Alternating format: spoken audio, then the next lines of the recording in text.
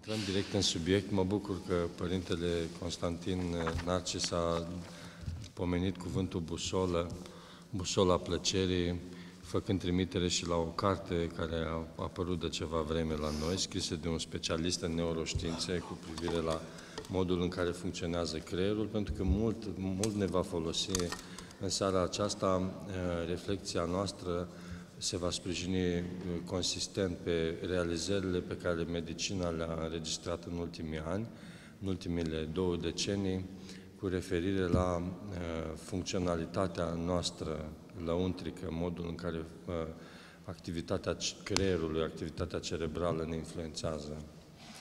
Um, intrăm direct în temă, mai întâi aducând în discuție chestiunea plăcerii. De ce ar fi important să discutăm despre plăcere, despre poftă și despre dorințe? Dacă stăm și reflectăm un pic la plăcere, vom vedea că ea reprezintă o parte foarte importantă din uh, ceea ce ne mișcă de-a lungul unei zile și de-a lungul unei vieți. Plăcerea solicită din partea noastră un consum de resurse. Plăcerea ne ocupă mintea, ne stârnește dorințele, uh, ni le formulează, adesea ni le reformulează, dacă avem în fața noastră o ofertă diversificată de plăceri, s-ar putea ca privindu-le în noi să se nască dorințe noi, pofte noi, și prin asta să ne reorganizăm țintele pe o perioadă scurtă de timp sau lungă de timp. Plăcerea uh, consumă resurse. Uneori, pentru o clipă de plăcere, așteptăm o zi. Uh, suportăm uh, ore târzii din noapte în locuri zgomotoase pentru plăcerea de a vedea un prieten și de a-l asculta sau de a ne întâlni cu el undeva. De fiecare dată când ceva ne place, suntem gata să sacrificăm ceva din timpul nostru, din energia noastră, din viața noastră pentru acea plăcere. Pe de altă parte, nu trebuie să avem în discuție și în reflexia noastră doar plăcerile pe care noi ni le satisfacem, ar trebui să ne gândim și la plăcerile pe care le dorim poate și în secret le dorim și pe care uneori nu ni le permitem să le satisfacem. Nu ni le permitem pentru că sunt uh, scumpe sau nu ni le permitem pentru că sunt ilegitime sau imorale. Ne-ar ajuta mult pe fiecare dintre noi dacă în această perioadă a postului, cum rar se întâmplă de fapt în viața noastră, să facem un pas în spatele obișnuințelor cu care căutăm plăcerile și ni le satisfacem, să ne judecăm pe noi înșine, să vedem în ce registru de plăcere se află în mod obișnuit ființa noastră. Ca și cum am face un fel de hartă a plăcerilor, pentru a identifica punctele sensibile, punctele problematice ale plăcerilor plăceri neziditoare, plăceri imorale, plăceri secrete, imaginate sau dorite sau poftite în inima noastră sau în gândurile noastre și pe care nu le săvârșim din frica de a nu fi uh, judecați de ceilalți, uh, respinși de apropiații noștri sau uneori pedepsiți. Pentru că atunci când trăim uh, pedepsiți de lege, atunci când trăim uh, uh, experiența culturală a zilelor noastre, ne întâlnim cu diverse situații, scene, conținuturi în muzică, în filme, în reclamele publicitare și am putea să vedem dacă în sufletul nostru nu cumva se stârnește o plăcere de a avea acea experiență și ea nu este urmată de un reprimare a acestei dorințe, de o judecată aspră a conștiinței noastre, care să o amendeze, să o pună în paranteze. Pentru că în felul acesta, dacă ne supraveghem, vom putea, supraveghind uh, conținutul nostru interior, să observăm că la un moment dat ar putea exista în inima noastră plăceri interzise, pe care noi să ni le dorim în secret, din când în când, și să nu le înfăptuim niciodată pentru a nu fi respinși de ceilalți sau pedepsiți foarte aspru de lege. Deci atunci când judecăm tema plăcerii și tema poftei cu privire la propria persoană, ar fi bine să luăm în atenție, în, să cântărim ce plăceri avem noi de-a lungul vieții, de-a lungul zilei, care este acest registru al plăcerilor pe care în mod obișnuit le facem și care sunt acele plăceri secrete pe care cu o inimă nepocăită, neafectată, totuși ni le dorim, deși ele sunt ilegitime sau imorale sau de rușine. Și de ce să facem lucrul acesta? Pentru că evaluând plăcerea mea, plăcerile mele, dorințele mele și poftele mele, eu pot să-mi dau seama în ce stadiu de viață spirituală sunt de fapt. Pentru că plăcerile mele sunt unul dintre cele mai intime autografe pe care eu le pot da ca persoană. Pot da mărturie despre autenticitatea mea interioară, despre interioritatea mea în maniera ei cea mai autentică. Plăcerile mele cele mai intime spun mai mult despre mine decât faptele mele, decât cuvintele mele, decât ceea ce știu ceilalți despre mine. Pentru că ele mi arată felul în care persoana mea se hrănește și ce consideră ea ca fiind dulce, drag, plăcut sufletului sau trupului ei.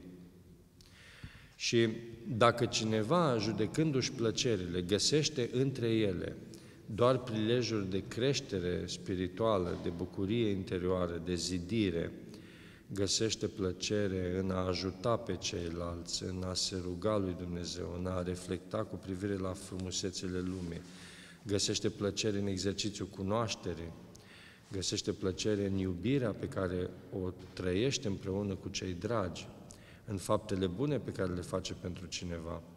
Și în, în tot registrul plăcerilor sale nu găsește ceva de rușine, atunci starea duhovnicească a acelei persoane este mult îmbunătățită. Dacă ne găsim în registrul plăcerilor pe noi înșine, într-o stare satisfăcută, făcând lucruri lumești, consumând uh, hrană, uh, desfătându-ne trupul în diverse locații, însoțindu-ne cu prietenii nopți nedormite în locuri zgomotoase, consumând alcool și tutun sau uitându-ne la uh, imagini uh, necuvincioase sau ascultând o muzică fără un conținut ziditor, dacă acestea sunt plăcerile noastre, atunci starea sufletească sau nivelul nostru spiritual este, este foarte scăzut.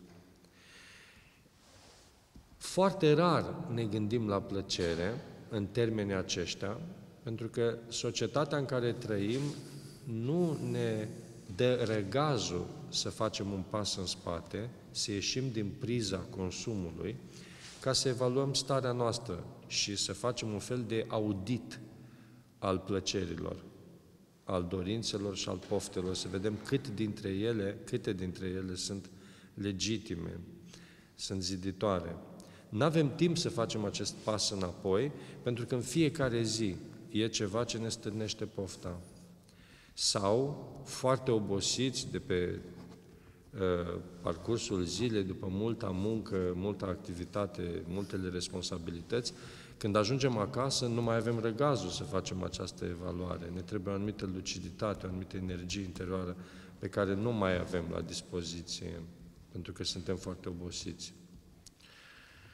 Studiile despre voință, pe care mulți cercetători le-au făcut în ultimii 10-15 ani, avertizează cu privire la această stare de oboseală, pentru că, așa cum găsim și în literatura filocalică la unii Sfinți Părinți, suntem avertizați că atunci când suntem obosiți de pe parcursul unei zile o, o, în care am făcut multă activitate Și ajungem acasă, avem tendința să ne permitem mici bucurii, cu ghilimele, mici plăceri, care nu sunt uh, în, în tocmai ziditoare, dar pentru că mult ne-am vitregit pe parcursul zilei, merităm totuși să ne și mângâiem un pic.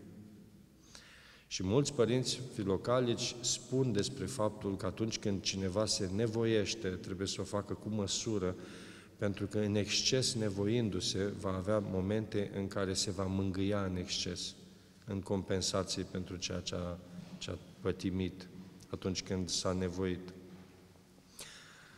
Lucrul acesta e doar, doar o paranteză. O paranteză la ceea ce spuneam.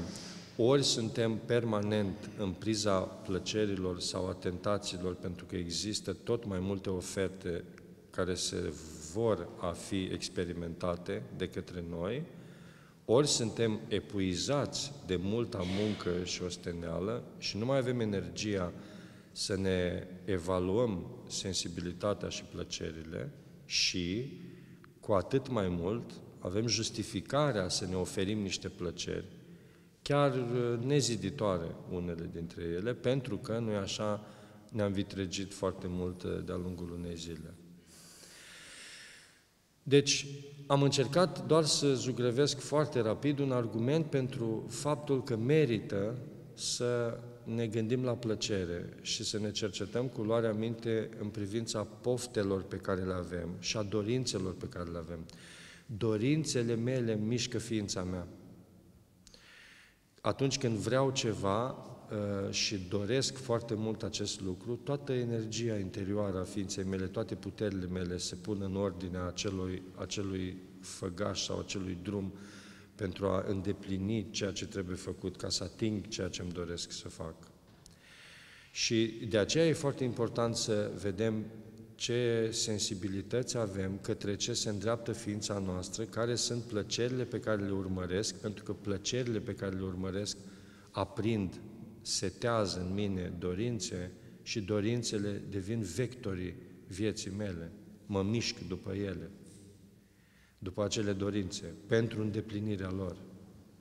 Una este când cineva își dorește, de exemplu, să ia un examen și atunci va, va, va depăși uh, euboseala și va sta nopți întregi învățând pentru a, a lua acel examen.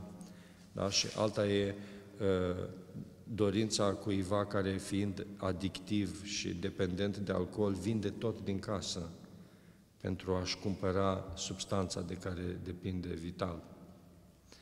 Asta ne arată că plăcerea ne setează dorințele și dorințele ne mișcă și ne structurează viața, încât este absolut necesar să vedem ce plăceri avem, pentru că, de fapt, ele ne organizează întreg efortul existenței. Și ar trebui să vedem ce resorturi interioare are pofta noastră pentru că ea ne mișcă oricum într-o direcție. Și dacă nu reflectăm asupra acestui lucru, riscăm să trăim cumva la dispoziția poftelor sau a plăcerilor, fără să știm că avem posibilitatea să intervenim conștient în mecanismul lor. Să ne ferim de Există o, o situație mai complicată, cumva, care vine dinspre lume. Civilizația în care trăim este o civilizație care s-a dezvoltat foarte mult în sensul rafinării ofertelor de plăcere, care rafinează la rândul lor poftele pe care noi le avem. Avem pofte din ce în ce mai rafinate. Uh, căutăm lucruri din ce în ce mai precise. E ca și cum am avea mere, dar ne dorim un anumit măr. Am avea dulciuri, dar ne dorim un anumit tip de dulce. Am avea mașină, dar ne dorim alta. Pofta este din ce în ce mai rafinată pentru că producțiile de bunuri trebuie uh, să se uh, consume și aceste producții de bunuri nu se vor consuma dacă ele nu sunt sprijinite de o industrie de marketing care ne convinge că trebuie să le achiziționăm. Și în fața stimulilor din marketing vom vedea la un moment dat pulsiunile noastre se intensifică, poftele noastre devin mai pronunțate și ne este tot mai greu să ne controlăm. Și aici trebuie să intervenim cu o, o anumită supraveghere, o anumită inspecție au o anumită judecată de evaluare cu privire la ce suntem noi, de fapt, către ce ne îndreptăm, dacă fiecare din mișcările noastre merită făcute sau nu. Dar până ajunge să judecăm lumea, care într-un fel, prin cultura de consum, complică lucrurile, e foarte folositor să stăm pentru câteva minute în mecanismul plăcerii. Pentru că există cercetări care au scos la iveală felul în care funcționează creierul nostru atunci când traversăm o experiență de plăcere. Faptul șocant pe care neuroștiințele l-au scos la iveală este acela că plăcerea sau experiența plăcerii ocupă foarte mult din activitatea sistemului nervos. Atunci când suntem martorii unei experiențe plăcute, foarte multe compartimente din cortexul nostru și din regiunile subcorticale sunt ocupate cu acest proces. Aceste rezultate sunt noi, ele au intrat în circulație destul de recent. Practic 90% din tot ce știm despre creierul omenesc au fost descoperit în ultimii 20 de ani. Deci, practic, suntem martorii unor descoperiri extraordinare care ne ajută pe noi să înțelegem cum funcționăm. Și vom vedea în partea a doua cum toate aceste descoperiri pe care neuroștiințele le fac cu referire la funcționalitatea noastră sunt confirmate de experiența Sfinților Părinți. Ceea ce cumva ne ajută pe noi, noi cei ce suntem astăzi eh, în lumea aceasta, să credităm literatura patristică. Pentru că foarte adesea Sfinții Părinți, în nevoințele lor din pustie, nu mai sunt credibili omului recent. Cineva care citește un autor din vechime spune că tot ceea ce scrie acest autor acolo nu are valabilitate în contextul vieții noastre. Lumea s-a schimbat, au trecut secole de atunci. Cum poate rămâne valabil ceea ce observă acel autor? Pe de o parte. Pe de altă parte, el are alt uh, curs al vieții, are alt limbaj și a ales un alt mod de viață. Majoritatea sunt monahi. Noi trăim în lume, lucrurile acestea nu sunt valabile pentru noi. Și în felul acesta am închis, de fapt, posibilitatea noastră de a ne înfrupta, de a câștiga din experiența uh, autorilor patristici. Științele medicale și în special neuroștiințele au scos la iveală lucruri extraordinare despre cum funcționăm și în foarte multe privințe. Există o convergență spectaculoasă între ce spune medicina despre funcționalitatea noastră și ce descoperă, de fapt, Sfinții Părinți prin propria lor experiență. Ce se întâmplă atunci când trăim o plăcere? Există o zonă, un circuit mai amplu în creier, care este responsabil de această uh, stare uh, a plăcerii. Se numește area tegmental ventrală, este undeva în miezul uh, creierului și este conectată prin diversi axoni, prin diversi neuroni, cu câteva arii care sunt esențiale pentru, pentru trăirea plăcerii. În general, medicina creierului a putut să avanseze în direcția aceasta, identificând diverse zone din creier sau din interiorul creierului, zonele subcorticale, sau de la suprafața creierului, din zonele uh, de pe cortex, pentru că au fost foarte multe cazuri uh, de persoane bolnave care, având tumori în anumite zone sau uh, suferind diverse lovituri în anumite zone, au pierdut diverse capacități. Și având în vedere că, având o tumoră într-o zonă, afectează o anumită funcție, ei au putut să facă această corespondență. În ultimii 200 de ani, 150 de ani, medicina a mers pe aceste corelative neurale. Pentru vorbire avem un centru, pentru înțelegere avem o zonă, pentru mișcarea mâinii avem o zonă, pentru sensibilitatea limbii avem o zonă. Și de fiecare dată când cineva are un atac vascular cerebral și o anumită zonă din creier este afectată, persoana respectivă va pierde pentru un timp funcția care era codificată în zona afectată de atacul vascular cerebral. Și în felul acesta se poate cunoaște o corespondență destul de precisă a diverselor funcții pe care noi le avem. În spatele acestui gen de investigații, practic, s-a uh, construit tot ceea ce înseamnă uh, viziunea neuroștiințifică despre, despre creier, pe care noi astăzi avem la dispoziție. Multe rezultate sunt în curs, dar pentru plăcere deja există câteva lucruri spectaculoase. Deci, aria tegmentat ventrală, această arie responsabilă de plăcere este conectată cu câteva arii și când ea este activă, neuronii care sunt uh, parte din această arie tegmental-ventrală, conectați cu diverse arii, trimit impulsuri electrice către aceste zone din creier care sunt foarte importante pentru că ne arată unde se localizează plăcerea atunci când o trăim. Mai întâi, area tegmental-ventrală are o conexiune cu nucleul accumbens. Este o zonă unde e trăită plăcerea în sens fiziologic. Zona aceasta este responsabilă, practic, de starea de bine produsă de uh, plăcerea propriu-zisă. Dar nu sunt doar conexiuni între area tegmental-ventrală și nucleul accumbens. Există impulsuri electrice care se duc și spre alte zone. Două dintre ele sunt amigdala și respectiv cortexul cingular anterior. Aceste două zone sunt foarte importante pentru că sunt structuri responsabile cu emoțiile. Emoțional, noi participăm la plăcere.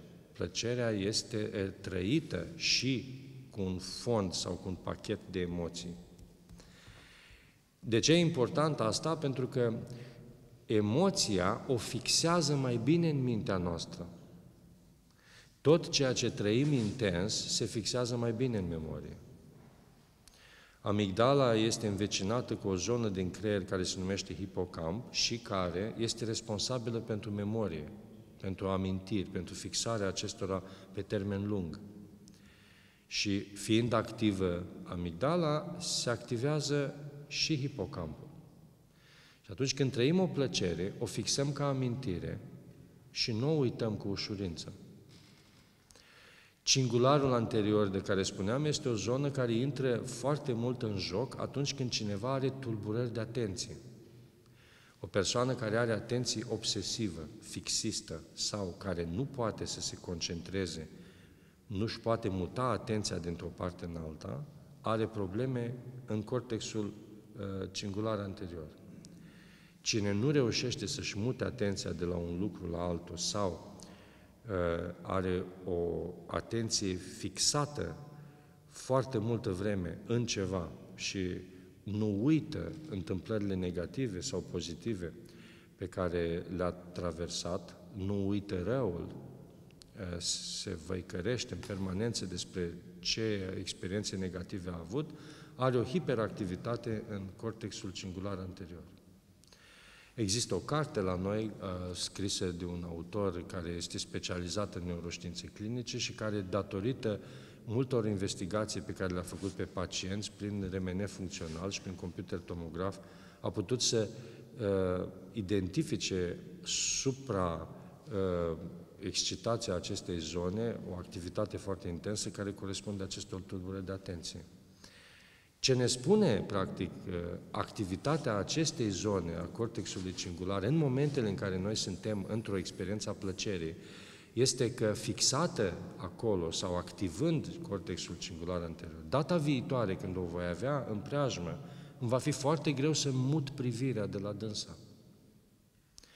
Va fi foarte greu să am o anumită ușurință de a o trece cu vederea. Pentru că Cingularul anterior este acela care, printre altele, se ocupă și de mutarea centrului atenției dintr-o parte în alta. O altă arie care este activă atunci când trăim plăcerea este striatumul ventral. Autorii spun că acest, această zonă este responsabilă cu învățarea comportamentală. Atunci când cineva deprinde un comportament, striatumul ventral este activ și comportamentele noastre sunt depozitate, printre altele, și în acest striatum, care cumva gestionează comportamentele deprinse.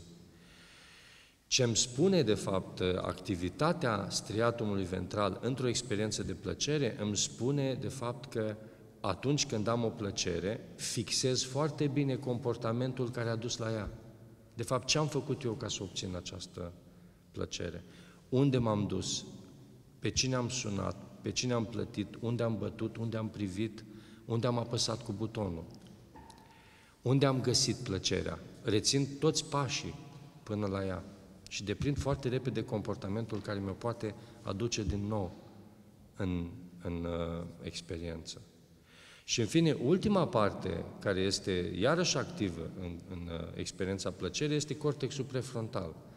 Cortexul prefrontal este sediul planificării. Noi planificăm lucrurile, ne organizăm comportamentul, ne gestionăm emoțiile cu ajutorul acestei, acestei zone a cortexului prefrontal.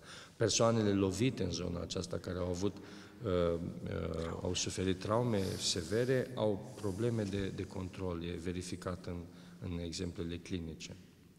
Ce, ce ne spune faptul acesta este că atunci când trăim o experiență a plăcerii, o vom putea planifica, pentru că ea s-a depozitat și acolo. Există urme ale, ale experienței acestea în cortexul prefrontal. Și când nu o voi avea în experiență, o voi putea planifica. Deci o pot planifica și pentru că am depozitat-o în memoria comportamentală, în zona unde am învățat să deprind comportamentul. Și având comportamentul cunoscut, că l-am deprins, știu, l-am fixat bine, pot să mi-l planific data viitoare, în așa fel încât să obțin plăcerea aceea care mi-a activat nucleul accumbens, mi-a dat emoția extraordinară pe care am trăit-o, pentru că ziceam că uh, structura amigdalei este și ea activă, care s-a depozitat în memoria mea, pentru că am spus că și în hipocamp există o urmă, și care uh, mi-a fixat bine în atenție acel uh, loc sau lucru care mi-a dat plăcere. Atât despre asta. Se poate vorbi foarte mult. S-au scris multe cărți despre asta și una, una dintre ele e publicată și la noi, se numește Busola Plăcere. Este exact lucrarea pe care Părintele eh, Narcis eh, Constantin o cunoaște și pe care a invocat-o la început. Ce ne arată în, în, în scurt este că plăcerea ne ocupă foarte mult din ființa noastră atunci când o trăim.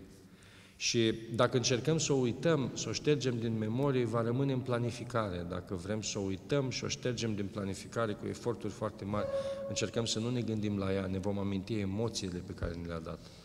Dacă încercăm să ștergem emoțiile, când o să trecem prin locul respectiv, cingularul anterior care mută atenția dintr-o parte în alta va fi activ la unele semnale care ne vor aduce din nou în atenție.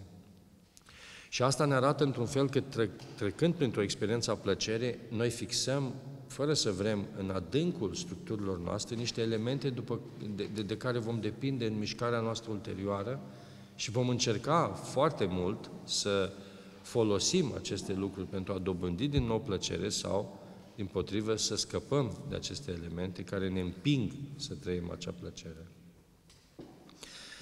Dacă lucrurile s-ar opri aici și noi am fi oameni simpli uh, în lupta noastră cu plăcerea, lucrurile încă n-ar fi foarte grave, dar situația se agravează și din cauza faptului că societatea noastră este o societate care mizează pe plăcere. De fapt, sunt foarte multe mecanisme economice care funcționează pe baza plăcerii. Noi suntem invitați să consumăm, să vedem, să ascultăm, să gustăm, să pipăim realități uh, apetisante, interesante pentru simțurile noastre și care, într-un fel sau altul, ne conving până la urmă să pășim înspre ele, să le achiziționăm, să ne le împropriem sau să le experimentăm pur și simplu. Deci deja sensibilitatea mea și deschiderea foarte amplă a ființei mele în raport cu plăcerea, pentru că ea, ați văzut, ocupă foarte multe locuri din, din ceea ce sunt eu ca persoană, e dublată cumva și de mesajul intens al lumii de consum sau al societății în care noi trăim. Și mi-am, mi-am notat aici doar trei studii care ne arată de ce societatea în care trăim este una care, sporind plăcerile, ne pune în pericol viața duhovnicească. Pentru că și aici este o problemă de receptare. Când un tânăr sau o persoană de vârstă medie, care este trăitor al acestei lumi și este un exemplar uh, obișnuit din uh, indivizii acestei societăți, cum uh, se obișnuiește să se spună în studiile de sociologie. Când cineva obișnuit cu lumea aceasta judecă tiparul de viață spirituală cuprins în filocalie și vede aprecierile negative ale lumii înconjurătoare sau ale societății de consum, are senzația că cineva din pustie critică prea mult uh, civilizația noastră, nu trăiește în ea, o urește întrucâtva Și de aici faptul imposibil pentru mine de a lua evaluarea asta și de a o folosi efectiv în viața mea. Nu pot să folosesc asta. Ea vine din partea unei persoane care probabil s-a certat cu lumea și nu pot să am asta ca reper. Într-adevăr, sunt foarte multe locuri unde lumea, ca loc al consumului, al plăcerii și al vieții dezordonate, este foarte aspru criticată în filocalie. Dau citire doar unui text din Sfântul Isaac Siru care vorbește despre asta la un moment dat, către final. Există niște întrebări și răspunsuri și este o întrebare care zice așa, ce este lumea și cum o cunoaștem pe ea? Și ce vatămă pe cei ce o iubesc pe ea?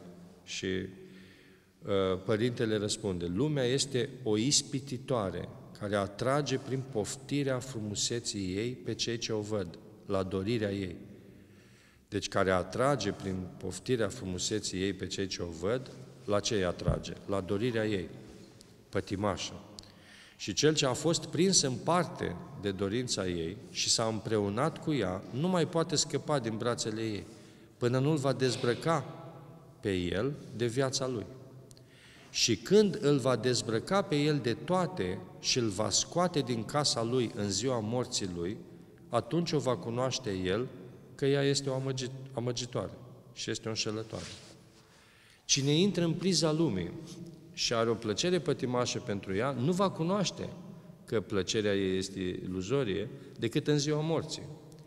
Fără această exersare a rupturii față de lume, pe care postul ne invită să o facem, noi nu reușim să scoatem la iveală înșelăciunea care există în lume, măcar în parte să o vedem. Și asta, repet, nu ca să o respingem, ci ca să o punem în rânduială, să o folosim înspre folosul nostru, nu spre pierderea noastră. Și continuă mai departe uh, Părintele. Iar când cineva se nevoiește să iasă din întunericul lumii, cât încă rămâne ascuns în ea, nu poate vedea împletiturile ei și ea îl stăpânește, nu numai, ea îi stăpânește nu numai pe ucenicii ei și pe fiii ei și pe cei legați în lăuntrurile ei, ci și pe cei uh, neagonisitori, pe nevoitori, pe cei ce au rupt legăturile ei și s-au ridicat deasupra ei, căci a început să-i vâneze pentru lucrurile ei în felurite chipuri și calcă peste ei și îi pune sub picioarele ei. Ce spune de fapt Sfântul Isaac Siru aici este că inclusiv aceia care s-au rupt de lume sunt în continuare în mrejele ei. Câte vreme aceia care s-au rupt de lume stau în pustie și vorbesc despre cele lumești și le nădăjduiesc că le vor primi și pe acelea sau regretă după ele sau judecă pe cineva care le are jinduind după poziția aceea. Deci câte vreme chiar și cei din pustie uh, reflectează la, la cele ale lumii, ei încă n-au ieșit de sub auspiciile lor. Această imagine, dacă o prezentăm unui om de rând, care trăiește ca noi, pare exagerată, pare desuetă, dacă nu fundamentalistă, uh, o abordare a lumii imposibilă pentru omul de rând uh, într-o societate de consum în care este inevitabil să, să trăim. Dar uh, cercetările arată că avem nevoie de o anumită luciditate când luăm lumea în seamă și când o evaluăm cu ceea ce ea ne oferă. Că nu putem spune da tuturor ofertelor ei câtă vreme avem putința să le, să le consumăm, că avem nevoie de un anumit scepticism în privința ofertelor ei. Și am trei exemple de cercetări care au fost făcute destul de recent, în ultimii 10-12 ani, și care evidențiază felul în care lumea mă poate tulbura pe mine ca persoană și îmi poate cauza un deficit de sensibilitate în privința celor spirituale sau duhovnicești. Tot mai multe cercetări au scos astăzi în evidență că experiența culturii ne schimbă foarte mult, dar uh, cercetările acestea pe care le, le voi menționa repede și destul de scurt, scot în evidență într-un mod foarte precis cum anume societatea de consum ne, ne scoate din traseu cumva. Și că e bine într-un fel să nu o luăm pur și simplu așa cum este, ci să o evaluăm destul de atent. O cercetare uh, făcută uh, în 2006 scoate în evidență ceea ce se numește distanța empatică rece-cald. Au fost un grup de subiecti puși în două situații distincte. să judece niște situații morale. Uh, au fost puși într-o situație obișnuită, așa cum suntem noi, să judece unele gesturi făcute de subiecti prezentate în niște texte, subiecti care au abuzat persoane uh, uh, fizic, au abuzat sexual persoane din punct de vedere fizic de vârste mai mici decât uh, acelea, inclusiv persoane minore. Subiecții bărbați au judecat foarte aspru aceste situații. Din punct de vedere moral, au fost în total dezacord. În moment, uh, evaluările erau anonime.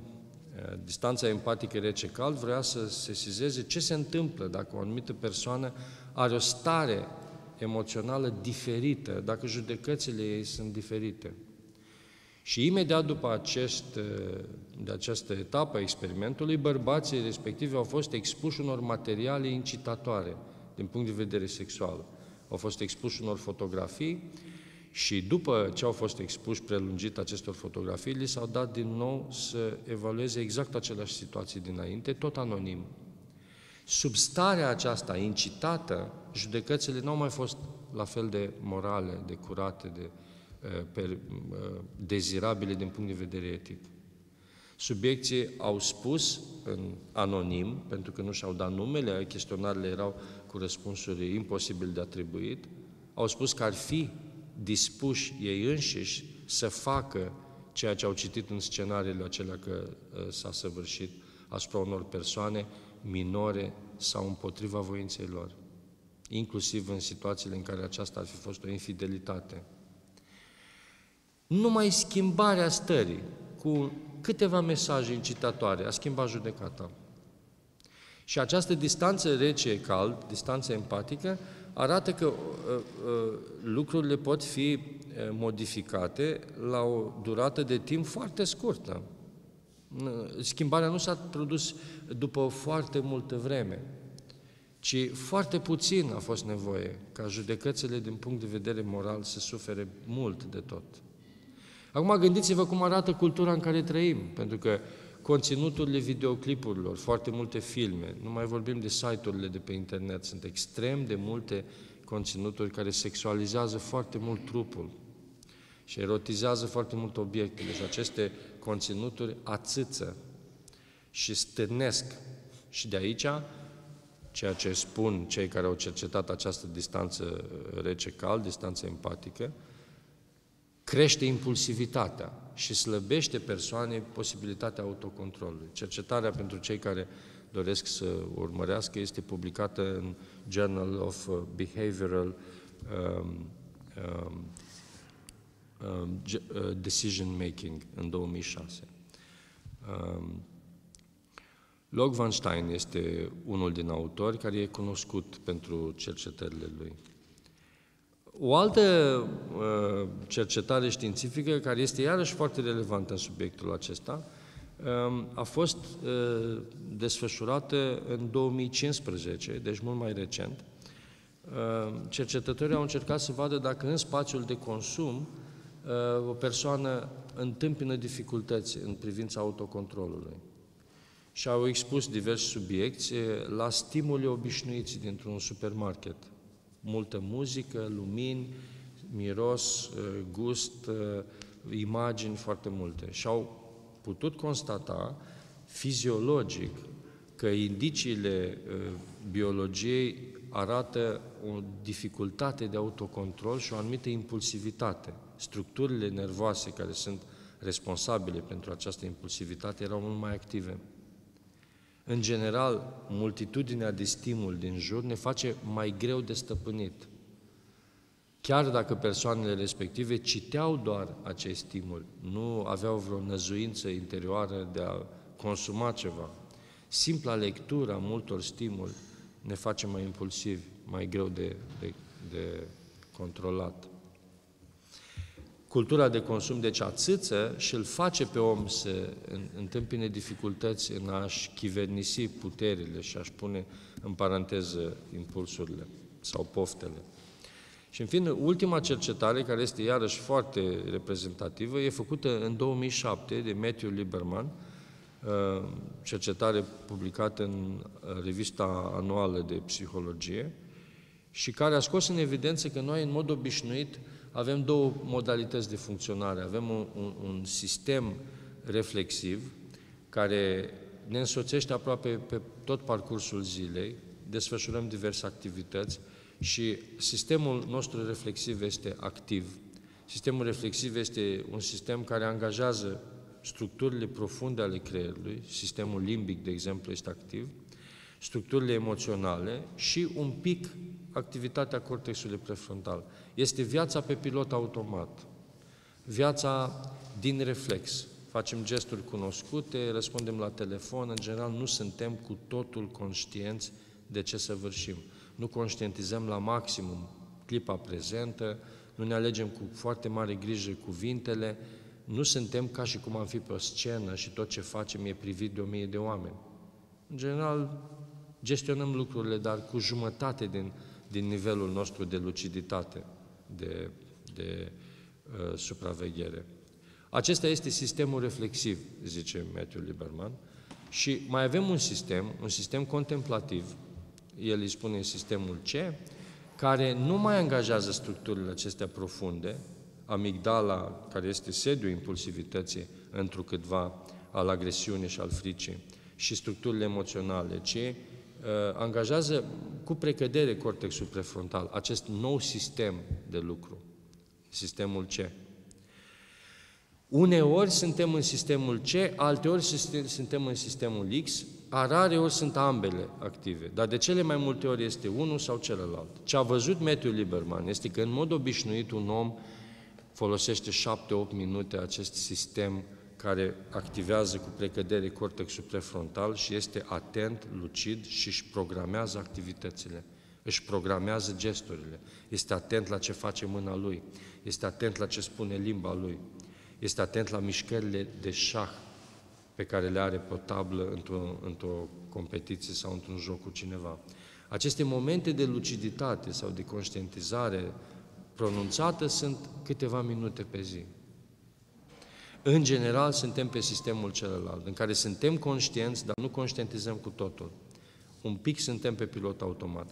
E foarte ușor să vă dați seama că situația asta este reală, dacă vă gândiți, mai ales cei care conduceți mașina, felul în care conduceți mașina după un anumit timp. Dacă aveți 10 ani de condus, faceți foarte multe mișcări din instinct.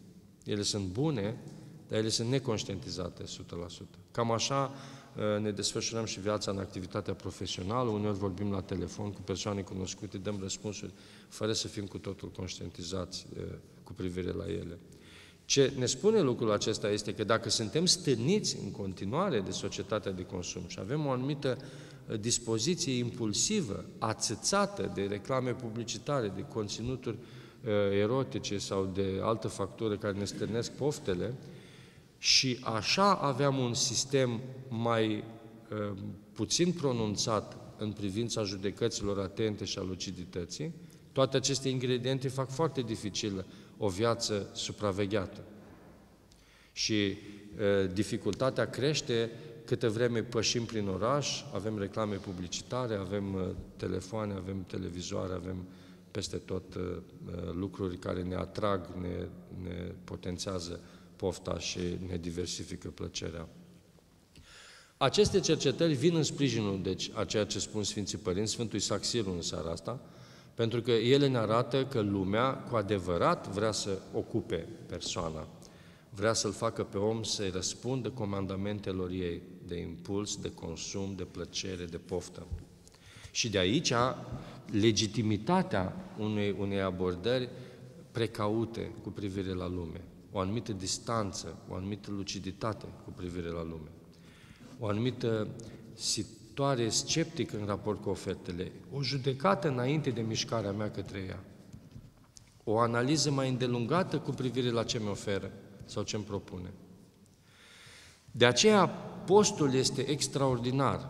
Postul în perioada aceasta este extraordinară pentru că biserica, rânduind aceste posturi, urmând de fapt vieții lui Hristos, care el însuși a avut un post îndelungat înainte de a începe activitatea misionară în lume, ne arată de fapt că este foarte important să producem un fel de răsucire a ființei, de a ne așeza cumva de a curmezișul modului ei firesc de a curge, de a, de a merge. Și făcând această ruptură față de priza obișnuită a lumii, să ieșim din, din contactul cu ea pentru a revizui sensibilitățile pe care le am și plăcerile pe care mi le dă.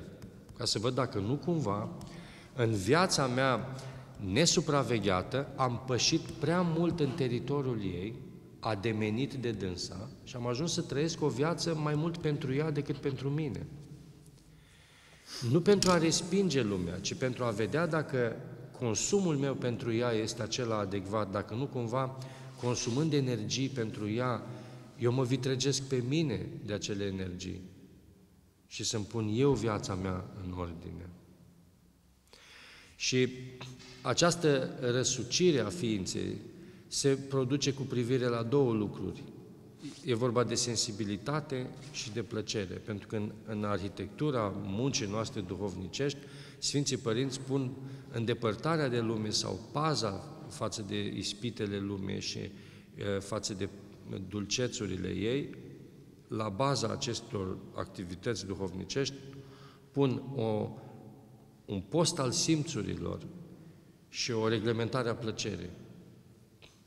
De ce simțurile trebuie să fie reorganizate? Pentru că am văzut că sunt foarte mult ațățate de societatea de consum. Și atunci, ca să le pot evalua și să le pot reorganiza, trebuie să le scot din priză. Dacă ele sunt în continuu deschise către ceea ce vine de la lume, nu pot organiza asta. E ca o revizie tehnică, trebuie să scot mașina din uz ca să o pot repara. N-am cum să o repar în timp ce ea merge sau funcționează. E important, deci, să ne gândim la plăcere și să ne întoarcem privirea spre simțuri, pentru că ele sunt acelea care mă deschid către orice plăcere care vine din lumea aceasta. De fapt, simțurile mă fac să fiu irezistibil atras de, de plăcere. Și ce spun, de fapt, uh, uh, părinții filocalici este că fiecare simț al meu e ca o gură care mușcă din lume. Cu simțurile mele deschise, eu mușc din lume diverse conținuturi și le metabolizez și ele devin parte din ființa mea. Atunci când ascult vorbirea cuiva, eu, eu mă încarc, mănânc din acel, acel cuvânt pe care îl aud. Când privesc ceva, mușc din realitate cu ochii mei și îmi încarc mintea cu imagini care ulterior vor fi metabolizate și vor deveni materie pentru gândurile mele. Atunci când pipăi ceva, îmi umplu memoria mea, amintirea mea cu acel lucru pipăit și dorit și când nu-l voi mai avea în față, eu îl voi pipăi în mintea mea. Și simțurile sunt locurile sau ferestrele pe unde eu deschis fiind, lumea intră în mine.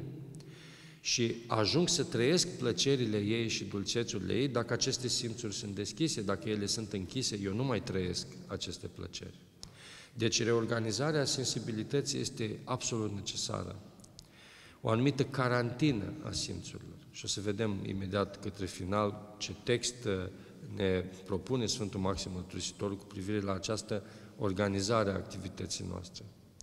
Și, de asemenea, plăcerea despre care discutam, pentru că ea îmi stârnește dorințele și dorințele devin vectorii care mă împing să trăiesc în diverse direcții mă trezesc direct angajat în lucruri, în realizări pe care doresc să le împlinesc, dar nu știu dacă am reflectat suficient de mult să văd dacă ele îmi sunt folositoare sau nu. Deci, pe de o parte, gestionez simțurile, pe de altă parte, sunt atent la ce plăceri mă mișcă.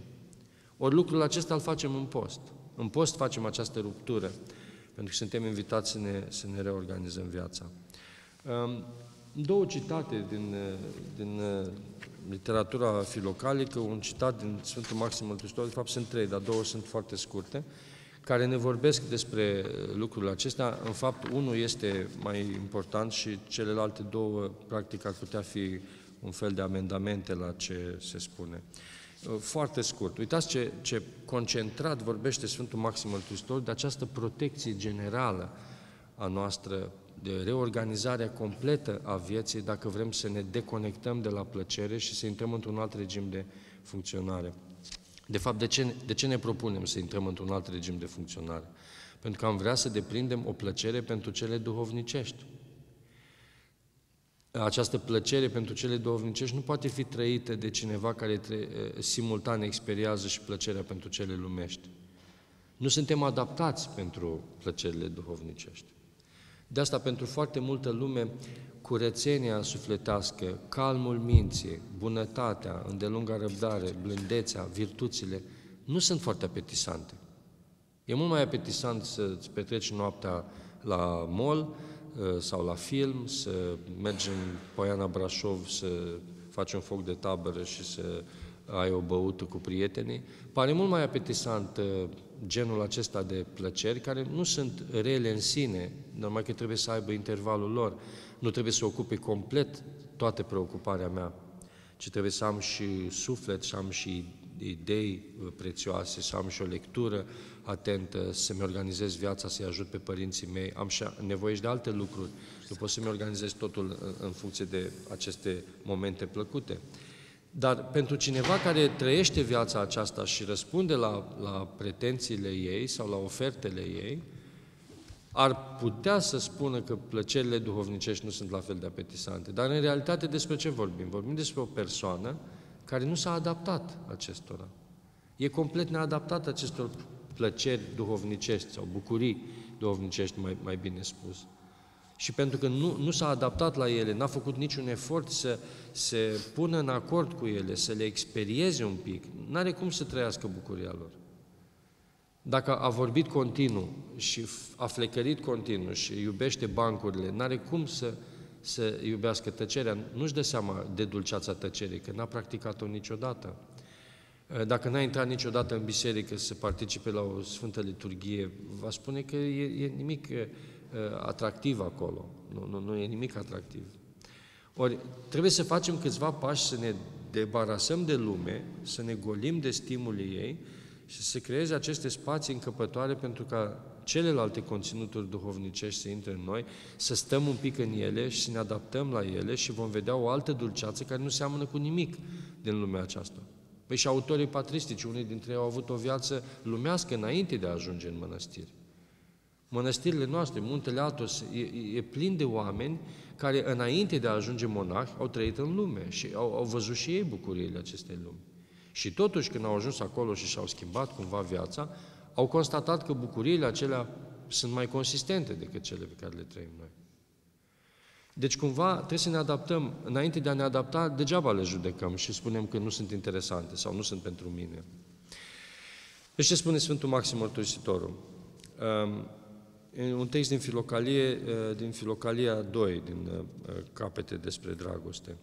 Sunt unele lucruri care opresc patimile din mișcarea lor și nu le lasă să sporească în creștere.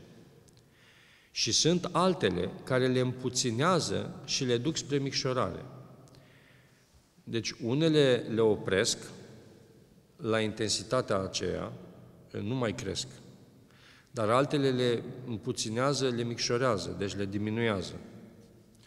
Sunt șase. De pildă, spune, postul, osteneala și privegherea nu lasă pofta să crească. Iar singurătatea, contemplația, rugăciunea și dragostea de Dumnezeu împuținează și sting cu totul această poftă. Încă o dată. Sunt unele lucruri care opresc patimile din mișcarea lor și nu le lasă să sporească în creștere. Și sunt altele care le împuținează și le duc spre micșorare. Postul, osteneala și privegherea nu lasă pofta să crească. Acum dând de exemplu concret de poftă și cine o oprește pe ea. O oprește să crească postul, osteneala și privegherea.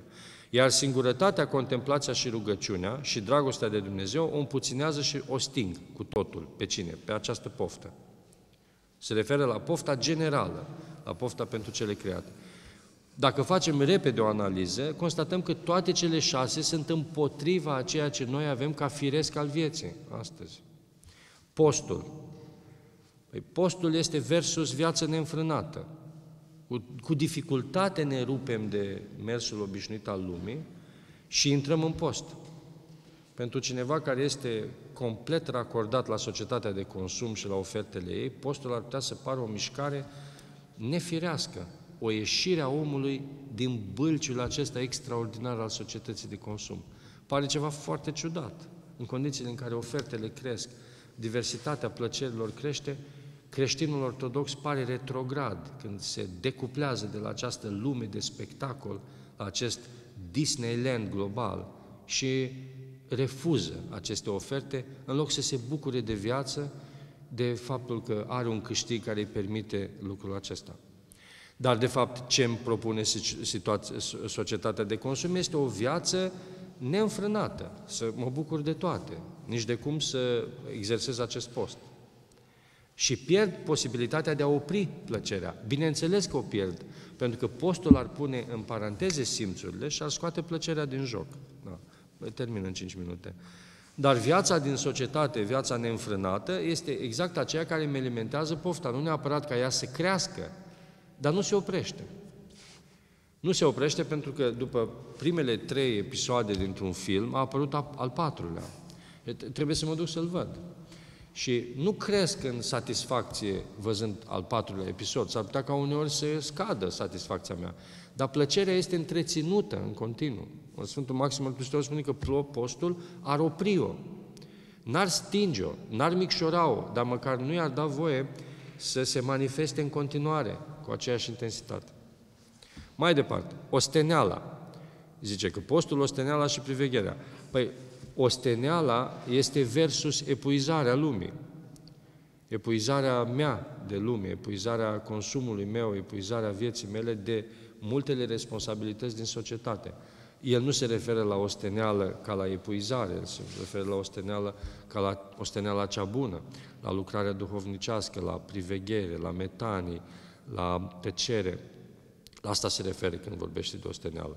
De fapt, noi avem ca experiență epuizarea și surmenajul care vin de pe urma multor responsabilități și a stresului, da, cum spune Părintele, și sau, pentru unii, confortul, care este la antipodul ostenelei. Ori suntem surmenați de lume și atunci nu e cazul în uh, ostenelilor pentru că nu muncim cele duhovnicești, ce facem cele lumești, ori e cazul confortului și atunci iarăși nu suntem în postura celui care se ostenește. Și în fine, a treia zice de priveghere, a fiind, ca fiind cea de-a treia lucrare care oprește pofta. Dar, de fapt, noi ce avem uh, ca experiență în raport cu privegherea care ne se propune? Împrăștierea minții pe foarte multe informații, pe foarte multe evenimente de divertisment, activități de tip uh, culturalizare, de uh, tip politic, de dezbatere, etc. Asta pune mintea într-o împrăștiere extraordinară, nici de cum într-o priveghere. Și celelalte trei care ar diminua pofta sunt uh, iarăși la antipodul experienței noastre din lume. Singurătatea, contemplația rugăciunea și, în fine, dragostea de Dumnezeu. Dar ultimele două sunt uh, aproape absente dacă ne uităm la ce ne oferă lumea și la ce ne invită lumea să facem, lumea ca societate de consum. Păi, în raport cu singurătatea, noi trăim o viață conectată 24 de ore din 24 la tot ceea ce se întâmplă, prin televizor, prin internet, prin telefonul mobil. Noi, noi nu suntem singuri niciodată. Noi suntem singuri numai când dormim dar singuri și conștienți, însingurați de bunăvoie, retrași undeva, fără telefon, fără calculator. Nu avem experiența asta, suntem permanent conectați. Fără singurătate e imposibil, ne spune Sfântul Maxim Mărturisitor aici. Contemplația. Contemplația este o activitate foarte intensă a minții noastre. Atunci când cineva contemplă, are o viziune foarte pătrunzătoare și foarte cuprinzătoare asupra lumii. Uh, și trăiește foarte intens o stare de slavă lui Dumnezeu, de bucurie, de doxologie. Asta este contemplația la care se referă Sfântul Maxim Mărturisitor. Noi, de fapt, ce avem ca, ca experiență în fața acestei contemplații ca propunere? Noi avem postura spectatorului sedat, hipnotizat de cultura care îi se oferă gata amestecată. Privim tot felul de conținuturi, de tip divertisment, emisiuni politice, ascultăm tot felul de muzici, de piese muzicale, care ne țin într-un fel de hipnoză, de stare de somnolentă. Nu este o activitate contemplativă în care să avem acel wow, acea surprindere, acea uimire intensă. Nici vorbă de așa ceva. Și pentru că nu le avem pe acestea cinci, evident că dispoziția pentru rugăciune și dragostea pentru Dumnezeu sunt, sunt realități. Um, ultimele două lucruri sau texte pe care le aduc în discuții foarte scurt, care ne arată iarăși dificultatea teribilă de a pune, pune stabilă pofte și de a reorganiza simțurile. Una dintre ele spune, Uh, patima sufletului e îndreptată în mod nerațional spre închipuirea binelui. Patima sufletului e îndreptată în mod nerațional spre închipuirea binelui. Închipuirea binelui mișcă pofta. Atunci când ne închipuim un bine, devenim poftitori.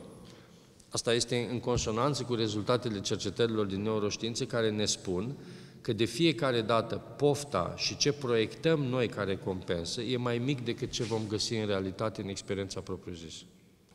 De fiecare dată când vedem ceva ce poftim, pofta noastră și sistemul de recompensă ne activează și proiectează în viitorul apropiat o experiență de plăcere care se va dovedi că este mai mare decât realitatea. De cele mai multe ori, ne spun cercetările, atunci când în fața noastră avem o plăcere pe care o experimentăm, la ce ne așteptăm noi e mai mult decât ce găsim în realitate propriu-zis. Ori asta este ceea ce a spus uh, cuviosul Isaia Pusnicus, spunând că închipuirea binelui mișcă pofta și patima sufletului este îndreptată în mod nerațional spre această închipuire. E o închipuire a binelui, nu e un bine. E doar o, un, un bine părut. Și în fine, ultimul text care ne arată iarăși dificultatea de a lupta cu pofta și nevoia de a reorganiza viața din temelii atunci când e vorba de o perioadă de post.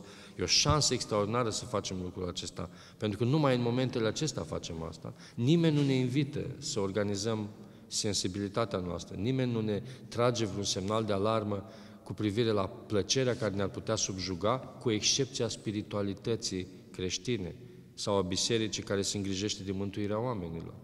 Ați văzut vreo reclamă publicitară care să ne informeze cu privire la atenția pe care ar trebui să o acordăm sensibilității noastre?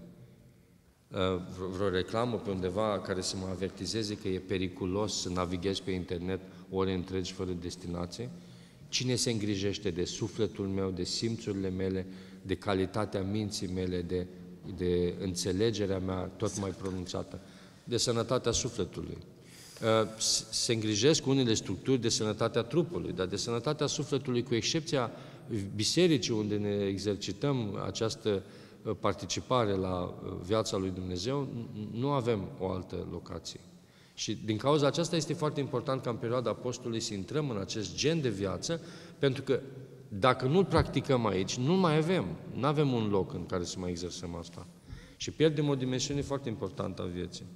În fine, ultimul text din Sfântul Ioan Scăraru, el e cunoscut, uh, acest text, și este extraordinar cumva că ne arată la ce distanță suntem de conduita patristică filocalică. Fugi ca de bici de locurile căderilor, căci nefiind fructul de față, nu-l poftim des. Fugi ca de bici de locurile căderilor, căci nefiind fructul de față, nu-l poftim des. Părinții au spus să fugim de locurile căderilor. Noi, noi astăzi suntem pretutindeni într-un loc al căderii. Dacă ne gândim numai la reclamele publicitare de pe stradă, din autobuz, reclamele din televizor, reclamele de la radio, muzica care are diverse mesaje, are un, o tonalitate și are o, un, un, răspândește o dispoziție pentru în ascultător Uh, insinuează diverse situații, situări în lume, o autonomie, are un conținut emoțional foarte diversificat. În general, conținutul celui care cântă se imprimă în cel care ascultă. Um, dar avem locuri ale căderii în buzunar. Telefonul este un loc al căderii. Um, în, în orice moment este în, la, la dispoziția mea prin, prin două taste. Eu pot să cad în, în într-un abis de, de lucruri nefolositoare, ziditoare, ne, ne, neziditoare și traumatizante pentru spiritul meu. Um, Sfântul Ioan Scăraru spune să fugim de aceste locuri. Noi ne-am, ne-am împresurat viața cu ele și din cauza asta este uh, absolut necesar să folosim postul ca o perioadă în care ne reorganizăm sensibilitatea, ne punem plăcerea în ordine și încercăm să, uh, să răsucim uh, curgerea firească a vieții și obișnuințelor uh, societății de consum înspre cele care ne pot folosi.